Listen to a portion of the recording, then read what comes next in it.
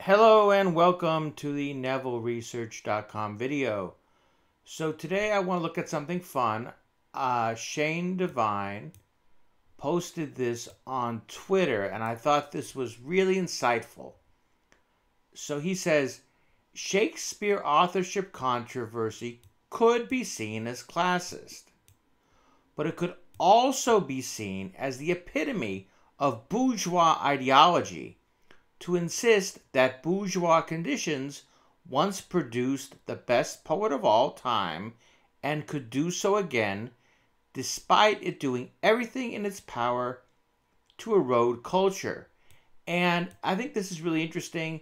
And so I sort of interpret this, the point of this, that there's this sort of claim that Shakespeare came from nothing and received a very minimal education, but was still able to create works of genius, and that this is somehow a good thing, a good sign.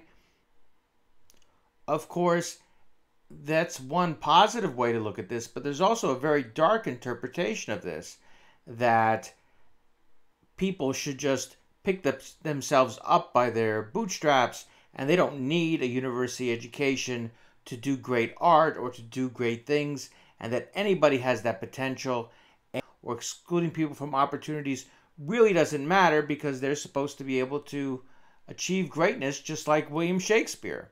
So there's a dark side to this sort of argument made for Shakespeare. And then this whole classist thing is like the number one trope now in defense of Shakespeare wrote Shakespeare.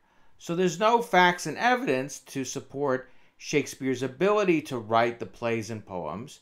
So instead, people like to say that it's classist to suggest that he couldn't write them. Okay? Um, here's, here's a very good example. So, nothing worse than Shakespeare truthists. I guess I'm a Shakespeare truthist. Classist as uh, F Oh, son of a lowly glove maker, could never be so poetic. And, you know, the truth is that Shakespeare was essentially the son of the mayor of his town. He came from a well off family. His mother inherited property. His father was well off. Shakespeare himself was a very successful businessman and built on his inheritance and died a very wealthy man. He was a landowner. Uh, his father became a gentleman when he was in middle age.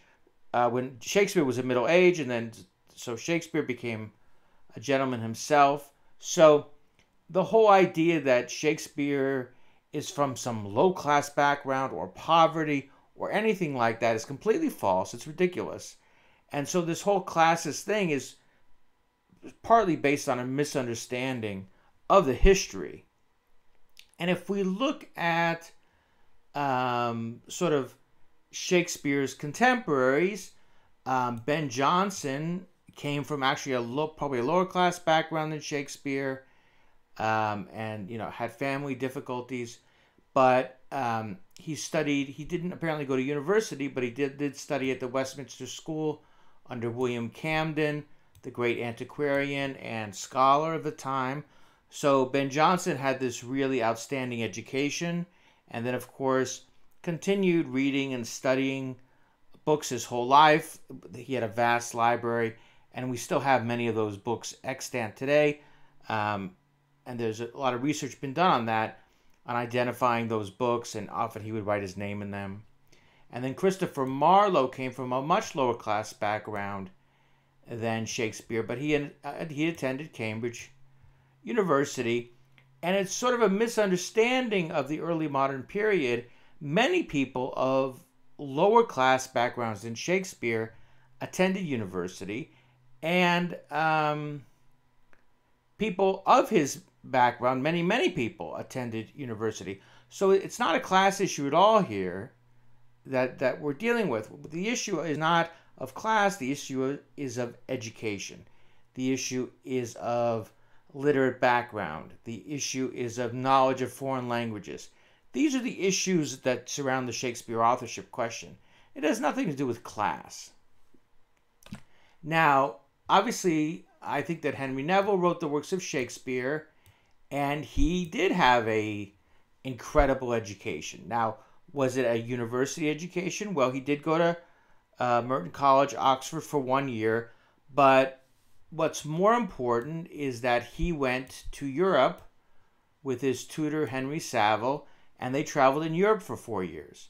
And we have very strong evidence that during that period, he was involved in a very heavy study of classical literature, Greek and Latin, that he was he learned Italian, he learned French, he was reading definitely reading books in Italian.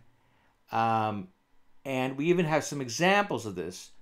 So I want to show you this is uh, Roman Antiquities, the book in Greek, and this is Henry Neville's handwriting. And I on my blog I have very uh, detailed explanation of how we can be sure this is his handwriting. It's undoubtedly his annotation to the book. And then this is from a copy of Tacitus, and this is Henry Neville's handwriting. I think it's it's the same handwriting, but it seems a little less mature. And then this is Henry Savile's handwriting. And Henry Savile had a very distinctive handwriting. There's no question. This is his handwriting. And so he's crossed out Henry Neville's mistake here, and he's put uh, the correct answer here. Uh, it's a list of uh, genealogy of some Roman emperors. So Henry Neville was a very high class individual. He was not a nobleman. Uh, you know, technically he was a country gentleman, but he came from a very uh, esteemed background. But it's sort of irrelevant where he came from. The issue is not his class. The issue is his education, and we have edu- we have evidence of this. We have very detailed evidence of the books he read, of what he knew, of his skills and knowledge, and all that's reflected in the works of Shakespeare. In the same way, we have Ben Jonson, and we know where his education was, and we know that he continued studying and learning throughout his life, and that's very much reflected in the works. Christopher Marlowe went to university. He was well educated, even though he came from a very lowly background. So, this classist stuff is just uh, really it's a red herring, or you could call it a straw man argument.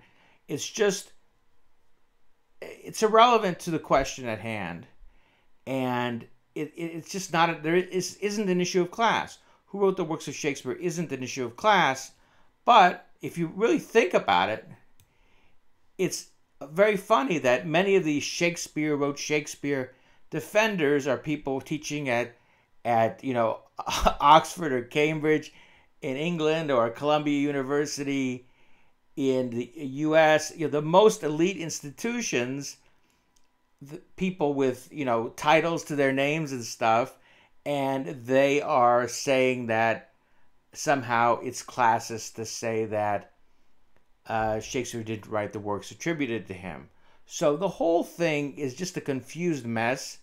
And I hope going forward, people can focus on facts and evidence and do real research and let's solve the Shakespeare authorship question. So thanks for coming to the channel. Please click like and subscribe and tell your friends because we're going to keep on coming on with great content like this.